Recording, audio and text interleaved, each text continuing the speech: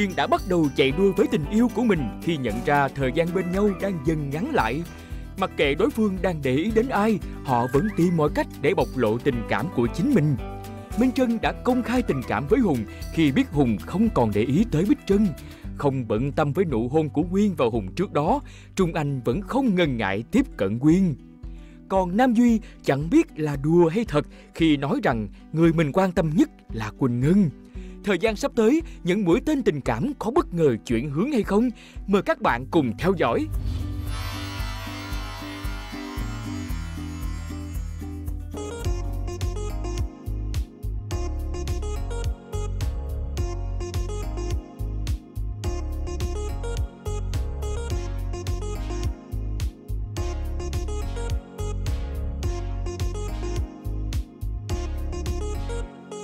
Tối hôm đó, Hùng nhận được một cuộc hẹn và hình như anh chàng đã biết trước sẽ có cuộc hẹn này. Ngồi đi em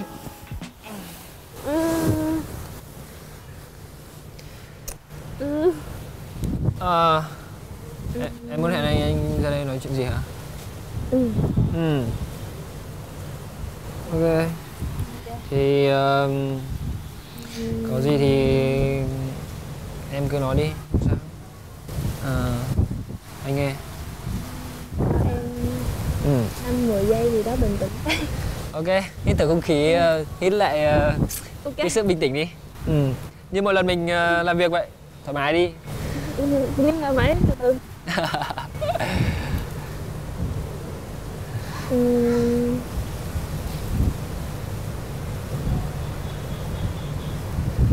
nãy khi mà em nói ra em cũng có một chút xíu bất ngờ tại vì em nghĩ là em em không định là em sẽ nói Ừ.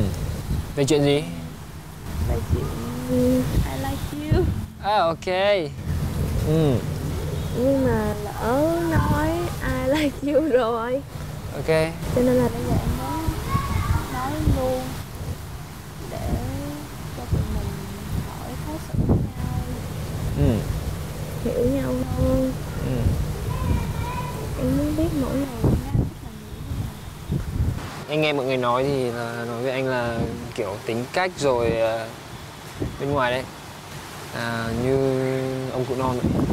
Ờ, à, thì ok ở ở em thì cũng có một vài điểm ở um, người con gái mà anh anh thích ừ. ừ. Chắc em cũng vậy thôi chắc cũng thấy anh có một vài điểm nào đấy thôi chứ không phải là toàn diện đâu em chưa bao giờ em có đặt ra hình mẫu lý tưởng cho bản thân nha ừ. nhưng mà mặc dù em không hiểu anh không giống mình mẫu lý tưởng trong đầu em suy nhiều khi em cũng không hiểu nổi kiểu mình suy nghĩ một đằng nhưng mà cuối cùng mình lại thích một nẻo á.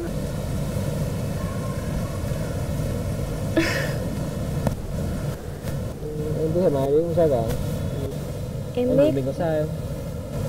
Em không sai. Dù anh có thích người khác hay chăng nữa thì cảm xúc của em dành cho anh là thật. Cho nên em không sai. Em đã từng suy nghĩ nếu mà anh có là một cặp đôi bí ẩn thì sao? Ừ. tại sao em lại suy nghĩ về điều đó? Tại vì Ừm. em rất sợ khi mà lại thích một người đã có người yêu rồi à. Em sợ làm người thứ ba em sợ làm người thứ ba. À. Em không thích điều đó. Nhưng mà nếu có lỡ thích nếu anh có lỡ là cặp đôi bí ẩn hay chăng nữa bây giờ em vẫn lỡ thích rồi cho nên là thôi thì nói ra hết. Em mới nói. Ừ. không nói em sẽ hối hận cả đời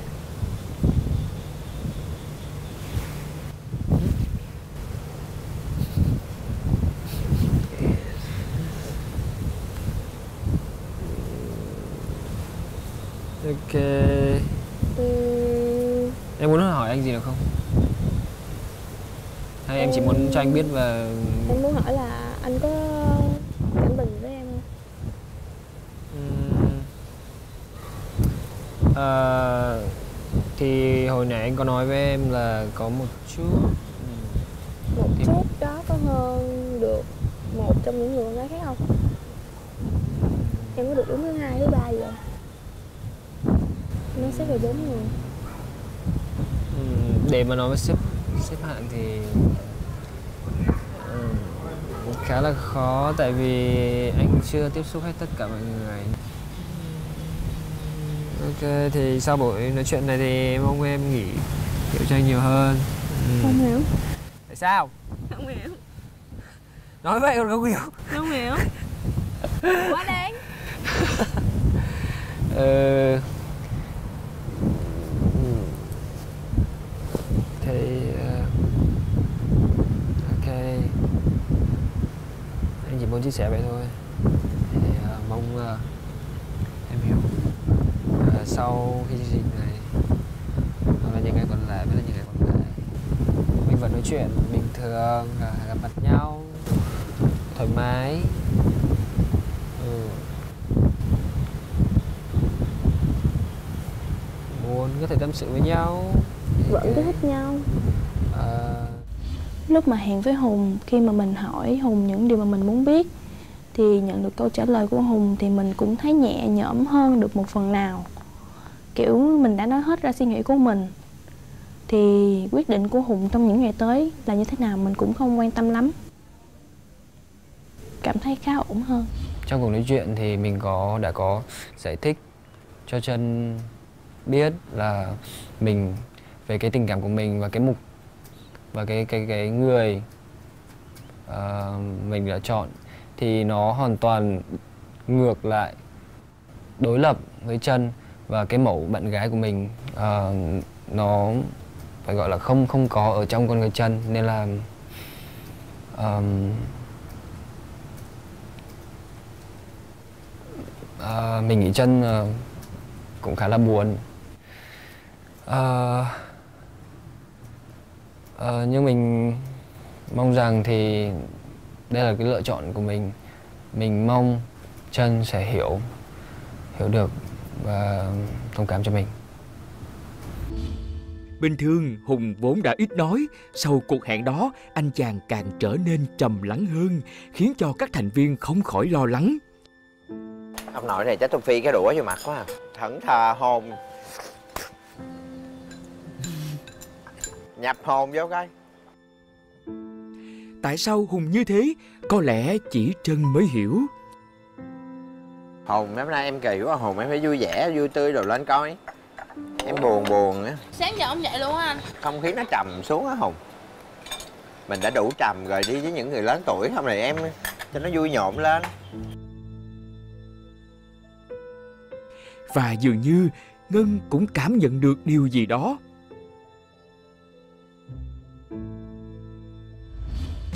Tối nay, các thành viên sẽ cùng nhau tham gia một trò chơi giúp nói lên được tâm sự của mỗi người. mình sẽ ra mình sẽ chơi một cái trò chơi rất là nhẹ nhàng ha và rất là sâu lắng. Nhưng ờ, chúng ta phải suy nghĩ thật kỹ bởi vì mỗi một người chúng ta chỉ có một câu thôi. Và một câu đó là câu nhắn gửi đến một trong tất cả những thành viên còn lại ha mà chúng ta có quyền không nói tên. Kìa anh Trung Anh là người đầu tiên. Rồi. Hồn là người nói đầu tiên. Wow. Hôm nay Là- thật sự bây giờ là hùng đầu rồi. Hôm nay thật sự rất là giản dĩ nha. À hùng đã thay đổi rất nhiều. Ờ, thì ờ, cho là cho dù hôm nay em ở đây hoặc là không ở đây thì anh muốn nhắn gửi cho em rằng một điều. Ờ, anh chưa được tiếp xúc với em nhiều lần um, cơ hội của anh chỉ có một lần duy nhất thôi được nói chuyện với em. Thì anh đã nhận được khá là nhiều cái đồng cảm và cái suy nghĩ giống nhau ờ, ở giữa anh và em. Uh, sau cái hôm nói chuyện đấy thì uh, anh có rất nhiều suy nghĩ về chuyện tình cảm của mình và anh tin chắc rằng ờ, anh vẫn mãi giữ cái ờ, tình cảm đấy. Cho dù cho đến khi kết thúc chương trình. Anh thương em. Anh thương em.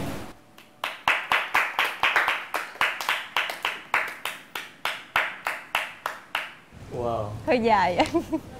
Hay mà rất là hay Rất rất là là cảm xúc. rất là cảm xúc. Đúng rồi rất là chân tình đó là cảm xúc thiệt Đúng. nha chứ không phải diễn nha. Ai like triệu like cái tình cảm hiện tại mà mình dành nhiều nhất thì chắc chắn là ngân rồi.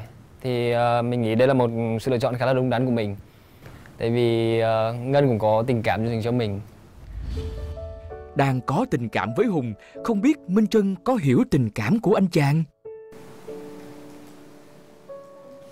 Em thích anh Dù có như thế nào đi nữa Em cũng thích anh.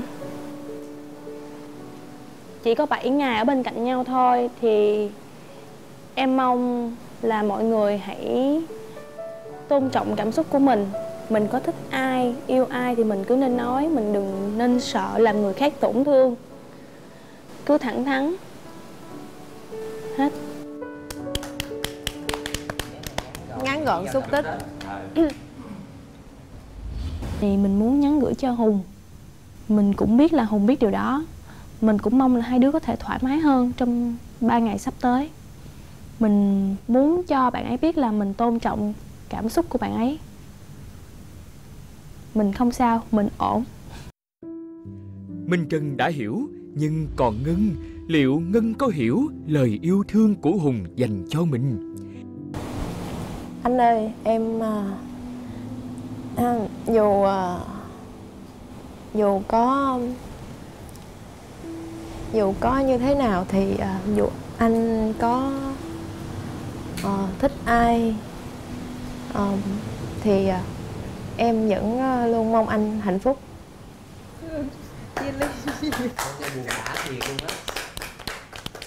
Mình nhắn gửi cho Hùng Mình nghĩ là dù cho Hùng có thích ai, có tình cảm với ai thì mình vẫn luôn mong Hùng được hạnh phúc. Và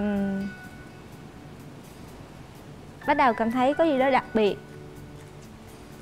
Mặc dù bùm ai cũng nghĩ người đó đẹp trai lắm. Nhưng mà bản thân mình lại thấy không quá đẹp.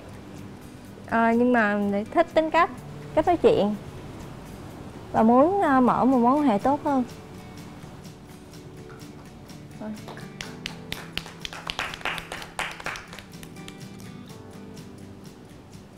Mình đã bắt đầu có cảm xúc và thiện cảm với anh Phong từ hôm qua.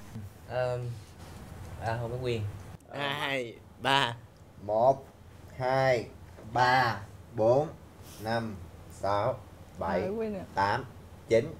Mười Và anh Phong hiện tại cũng ờ, là người mà mình ấn tượng và muốn tìm hiểu. Dường như Phong đã hiểu lời nhắn gửi của Quyên. kính gửi người con gái tôi thương khi gặp em á thì anh có cảm xúc rất nhiều. Ờ phải nói là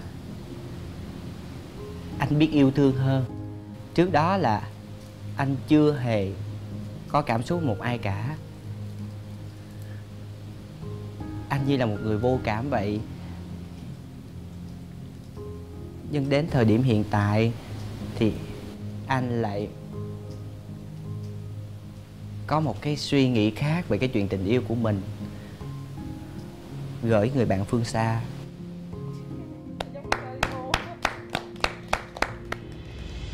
Bất ngờ, Ngân lại có thêm một lời nhắn gửi nữa. Mình à, muốn à, nhắn gửi đến một người là ờ, nếu à, người đó có tình cảm với ai đó thì à, cứ nói ra không cần phải ngại. Hết. Xúc tích vậy. Mình muốn nhắn gửi lời đó dành cho Quyên mình nghĩ là Quyên đang thích Phong. Bởi vì ờ, mình cảm nhận được và ờ, khi mà lời lời nhắn gửi lần đầu tiên của Quyên mình cũng nghĩ là dành cho Phong. Không biết Quyên có hiểu ý Ngân không? Mà ngay sau đó Quyên đã có ngay một cuộc hẹn. rồi ai làm hồi hộp cái gì?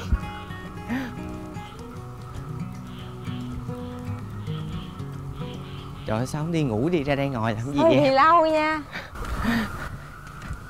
Anh Hơi có việc. À anh đang làm việc á hả?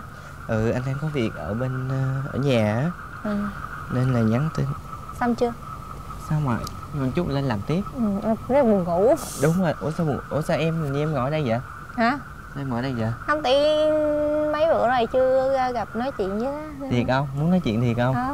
thiệt Chứ sao vậy? Vậy Không em muốn nha. à ok. Ủa xạo là cái gì vậy? Ý là phải thiệt nha. Muốn gặp thiệt không? Ồ trời ơi trời cái gì vậy? Hơi mệt nha. Là sao muốn nói gì? Không gì đâu thì kiểu như chưa biết nhiều về anh á thì muốn biết nhiều thôi ừ. kiểu vậy ủa sao anh kêu em xả tóc em xả tóc vậy? Anh khuyên em một điều. Sao á? Hãy để mái tóc này từ đây đến hết ngày 7 ngày. Sao? anh nghĩ nó sẽ dễ thương hơn. Vậy hả? Ok. Không tại không anh không phải em à, làm theo người khác đâu. Tại vì em hợp với kiểu xả hơn. Ai cũng Ừ, nói em vậy á. Đúng rồi thì anh thấy em xả thì nó nó Ừ. hợp hơn nó dễ thương hơn mình đúng bàn đến chuyện tóc nè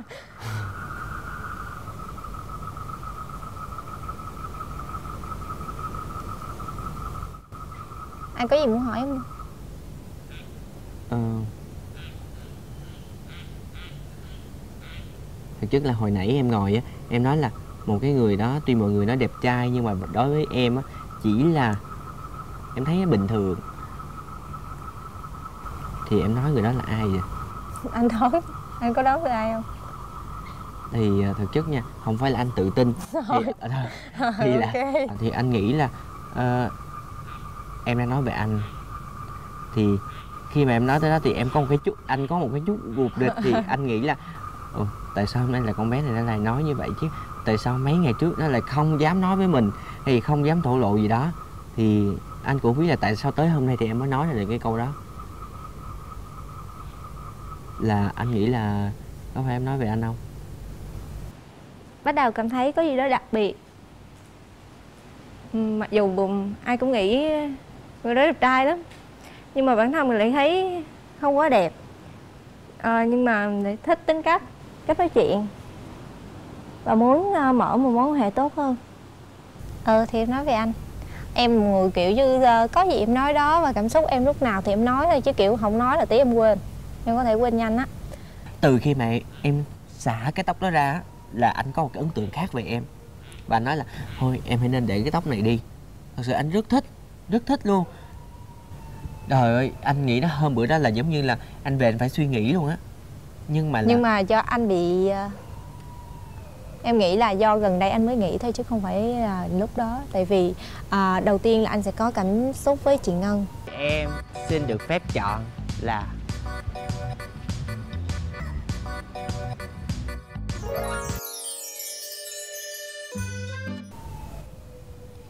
thực chất là ờ, cả bốn người anh đều có cảm xúc cả. Nhưng mà là ở mỗi người đó là một cái điểm khác nhau. Với lại á ờ, nếu mà thực sự buổi hẹn này là bà là ngân á thì anh cũng không biết nói gì nữa. Vì sao? Vậy anh hỏi em. Khi lúc đầu anh chọn Ngân Và anh có tình cảm với Ngân trong mấy ngày đó thì em có một cái cảm xúc gì không? Em có buồn hay là em có là Em có em có muốn là Mình phải nói ra liền là ừ mình thích ảnh Để cho ảnh biết là mình có thích ảnh hay không Để ảnh còn cảm nhận được? Thật sự thì lúc đó em chưa có cái kiểu một cái ấn tượng gì với anh, hết tại vì um, em không có thói quen mà thích một người quá đẹp. Hay là một người nào mà người khác khen đẹp. Và ngày hôm qua thì em bắt đầu suy nghĩ lại và em cảm thấy mình có ấn tượng với anh. Là chàng trai duy nhất mà từ của uh, 4 ngày mà em cảm thấy có cái gì đó đặc biệt nhất. Nhưng mà là Ngân là cái người ở cùng phòng với em. Và em cũng thích anh Và Ngân cũng có một cái chút tình cảm với anh. Thì em lại nghĩ như thế nào về cái việc mà người bạn cùng phòng của mình? Vì em nghĩ cũng đơn giản đến đây để tìm hiểu và tất cả mọi người đều có quyền tìm hiểu nhau chứ không phải đến đây để ai đó đánh một cục mốc nào. Mà mình vào đây để ờ, quen một người đó, xong kiểu dẫn một người đó về và tất cả các bạn nữ không có quyền lựa chọn. Em nghĩ là chương trình này cũng không dành cho những cái kiểu dạng như vậy. Và em nghĩ mình, nếu mà cảm xúc mình ờ, cảm nhận được thì mình nên nói. Và em nghĩ em cũng nên nói. Thật sự em cũng không thích tranh giành hay là bất cứ cái gì hết á nhưng Dạ. mà cái mà em nếu mà cảm xúc thật sự của em thì em rất muốn nói ra vì em nghĩ đó là nếu mà không nói ra cũng chẳng ai biết mình đang muốn cái gì em nghĩ đó em cần phải nói. Vậy em có dám nói tình cảm giữa anh và em với tất cả mọi người không? nếu nó đủ lớn. À đủ lớn là đợi mấy năm nha em nó mới đủ lớn nha. ok. Giống như rượu gì đó em. Khá là thích cái cách nói chuyện của anh Phong uh, rất là lâu cuốn và kiểu như ờ, đôi khi thì giống như là dạy một người em ví dụ có cái vấn đề nào đó à em nên làm như vậy như vậy và đó là cái điều mà em rút kinh nghiệm chứ không phải là uh, cái này là cái sai lầm và em cần phải một cái gì đó quá là uh, bản thân mình đừng có nên cảm thấy quá là có lỗi nhiều về việc uh, xảy ra Trong khi đó, ở một góc khác cũng có một cuộc hẹn. Hello Hello, em tính hù anh mà anh thấy em rồi Anh thấy em đi từ ngoài kia mà. Ủa vậy hả? ừ. Sao anh thấy sao quá vậy? Ừ. Này anh không mặc áo trắng à? Ừ. Thì mặc cho giống nhau hay sao à anh cũng biết nói ngọt không? ừ. Ừ. Anh tới ngủ rồi chứ Ừ, chưa, em cũng sắp ngủ nè ừ. Ừ.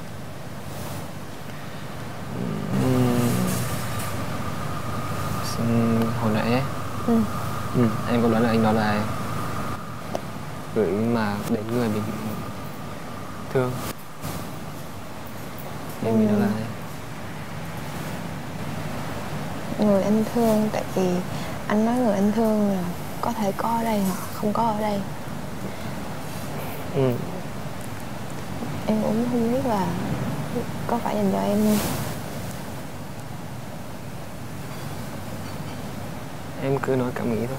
Nếu mà nếu ờ, em nghĩ là em thì em nói là em không phải là em nói không phải. Em em cũng không biết nữa. Em em không không giỏi để đón tình cảm của người khác. Thì anh nói lại về em. Anh có một thằng một thắc mắc nhỏ nhỏ là khi mà em nói em gửi lời cái cái cái trò chơi thứ hai ấy ừ. Ừ. Thì ờ, anh vẫn chưa đoán ra được là nó dành cho anh hay là cho một ai đó thật ra câu đầu tiên là dành cho anh dù có như thế nào thì à, dù anh có ờ, thích ai ờ, thì à, em vẫn à, luôn mong anh hạnh phúc. Tại vì anh à, anh nói là anh gửi một người như vậy em không biết là người nào. Cho nên là ừ, em nghĩ là dù anh có thích ai thì em vẫn mong là anh hạnh phúc. Tại vì anh cứ sống thật với con người của anh. Anh, anh không cần phải tỏ ra là ờ, anh sợ là như vậy sẽ ảnh hưởng đến mọi người. Anh cứ là anh đi. Anh lạnh lùng thì anh cứ phải lạnh lùng ngầu là được rồi nhưng mà anh có chắc chắn không? Ừ, em muốn em muốn hỏi là chắc chắn về chuyện chắc chắn là là anh sự lựa chọn của anh á. Ừ, anh nghĩ thì nó đúng. Và ừm, anh nhận ra được nhiều cái nó nó khá là trùng hợp. Ờ,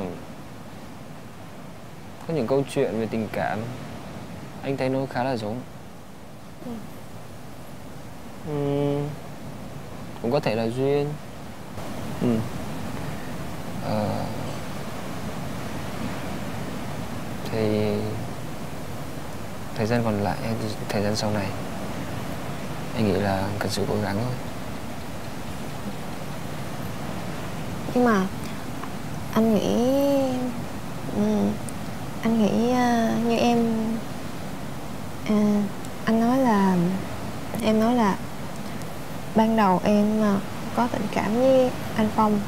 Sau đó em có tình cảm với anh thì anh có suy nghĩ là em em là người không tốt không? Ừ, không. Ờm, cũng như anh. Khi đầu anh cũng có tình cảm với chân. Ừ. anh khá ấn tượng về chân lớn. Nhưng mà khi anh được tiếp xúc nhiều nói chuyện thì uh,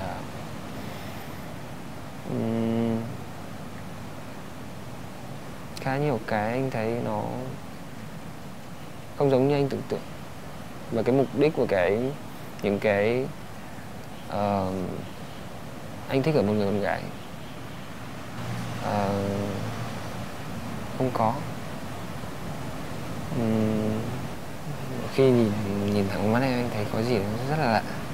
Lạ Ừ. Mắt em dài quá. Có Đúng không? không không. Nhiều người chụp hình nói vậy. Không. Anh cảm giác em đang run như vậy hơi run đúng không? Ờ, hơi hồi hộp. Em hơi em hơi mất cỡ ok cho anh một cái không?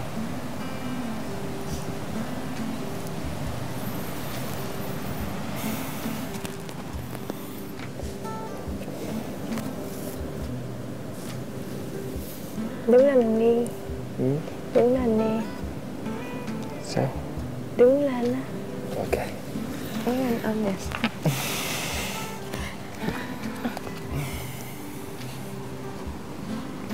Em thích ôm từ phía sau anh, được không? Ok.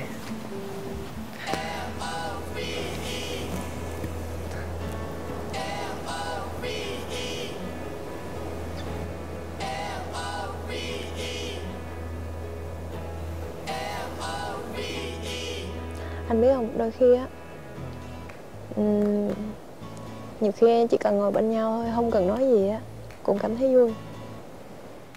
Cảm giác rất là run vừa run và ừ, rất là hạnh phúc. Khi mà được một người mà mình có tình cảm ờ, và mình muốn người đó thuộc về riêng mình ờ, dành cái tình cảm là bằng một cái ôm từ phía sau ờ, cho mình, thì mình cảm thấy điều đó là rất là đặc biệt.